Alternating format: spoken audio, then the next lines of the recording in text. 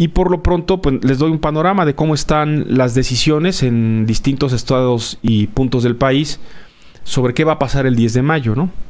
Se supone que habiendo un asunto de sana distancia o una instrucción de sana distancia que está vigente, pues la recomendación sería que todos en casa. Más aún si mamá tiene arriba de 65 años, la idea pues es no no, no ir a visitar a mamá por cualquier cosa, ¿no? Porque son más, las personas de 65 años hacia arriba son más propensas a adquirir la enfermedad.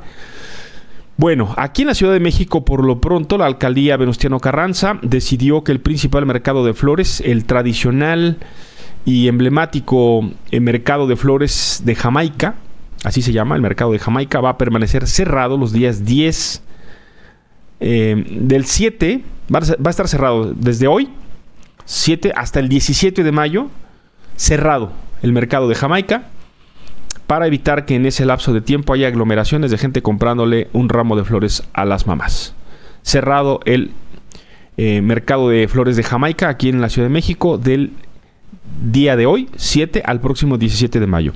En San Luis Potosí, la Comisión Estatal de Prevención y Riesgos Sanitarios, la COFEPRIS, anunció que va a endurecer medidas por ser esa semana la de mayor contagio para limitar acceso a panteones, florerías y restaurantes y únicamente estará autorizada la venta de comida para llevar. Esto es en San Luis Potosí. En Nuevo León, el gobierno del estado ordenó cerrar florerías y pastelerías porque no debe haber festejo. En Jalapa, en la capital de Veracruz, uno de los estados con mayores casos de COVID-19, se oficializó el cierre de restaurantes, florerías, pastelerías y panteones de, a partir de mañana y hasta el 10 de mayo. Van a estar cerrados estos restaurantes, florerías, pastelerías y cementerios. Lo mismo en Tabasco, que representa también una alta tasa de contagio. Se ha anunciado este cierre de eh, restaurantes y de actividad comercial. En Cancún, en Quintana Roo, también otro, otra ciudad y otro estado con un alto eh, índice de contagio de cara a la celebración del Día de las Madres. Se van a reactivar a 20 establecimientos que están cerrados por COVID-19, por lo que se van a reactivar para que puedan celebrar el Día de la Madre. Eh, el sector de, eh, restaurantero prepara paquetes familiares especiales de alimentos para 4 o 6 personas, costos entre 400 y 1200 pesos. Y lo que esperan es, este, eh, bueno, van a dar servicio a domicilio y con eso esperan elevar sus ventas a menos 2.5%. Eso es en Cancún. en Sinaloa, el alcalde Guillermo Benítez en Mazatlán, Sinaloa, informó que los restaurantes sí van a poder abrir y recibir clientes, pero con al 40% de capacidad y previa reservación. En Baja California, el alcalde de Tijuana, Arturo González, informó que se van a instalar filtros sanitarios en los 12 panteones municipales con el fin de garantizar la salud de quienes asistan este Día de las Madres. Entonces, como pueden ustedes ver y escuchar, amigos y amigas en el país, no hay, no hay una línea, no hay una, una sola, de una sola medida, una sola instrucción, una sola decisión de gobierno que vaya en un mismo sentido. Es decir, nuevamente esta información que les acabo de dar en varios puntos del país confirma lo que aquí hemos venido insistiendo ha sido el sello del manejo de la estrategia epidemiológica en México es que cada quien tome sus decisiones que cada quien decida, que cada quien haga. Este, si uno les parece bien abrir los panteones, que los abran. Si uno les parece bien cerrarlos, que los cierren.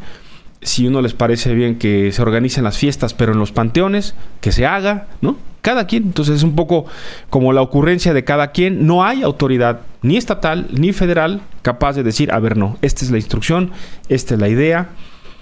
Este, si algún gobierno por ahí endurece la medida, llueven los amparos es México, una manera muy clara cómo ha sido el manejo. Eh, en más sobre este asunto, la Cámara Nacional de la Industria Restauranteras y Alimentos Condimentados, la CANIRAC, ha propuesto aplazar el festejo del 10 de mayo hasta el 10 de octubre.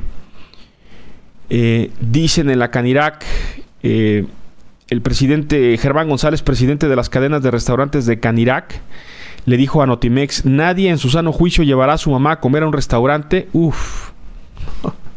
Menos buscará reunir a la familia. No, hombre.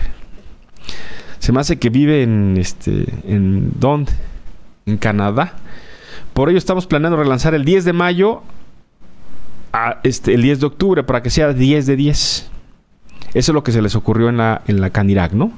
Que es la Cámara de los Restaurantes. Ahora, aquí en la Ciudad de México, la jefa de gobierno, Claudia Sheinbaum, exhortó a la sociedad a que se aguanten las ganas de derrochar y hacer reuniones y festejos familiares y se esperen no al 10 de octubre, sino al 10 de julio.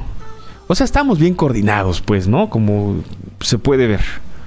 La Canirac dice hagámoslo el 10 de octubre. La Ciudad de México dice hagámoslo el 10 de julio. Este. La Canirac de la Ciudad de México dijo, perfecto, está bien el 10 de julio. este, y cada estado dice, no, pues que se hagan el 10 de mayo, pero pues todos con la sana distancia. Estamos muy coordinados, como se puede ver. Y este, es decisión de cada quien, finalmente el próximo 10 de mayo, em, si van a celebrar o no este, a su mamá. Yo les eh, reitero nada más una información que la fuente es información oficial. Las personas que tienen más probabilidad de tener una, una etapa grave de la enfermedad de COVID-19 son personas con enfermedades crónico-degenerativas, diabetes, hipertensión, obesidad, básicamente, ¿no? Hay otras, insuficiencia hepática, insuficiencia renal. Esas personas tienen una alta probabilidad de que si les da el COVID-19 van a desarrollar rápidamente la enfermedad en su, en su modo más grave, en su modalidad más grave, y tienen una alta probabilidad de morir.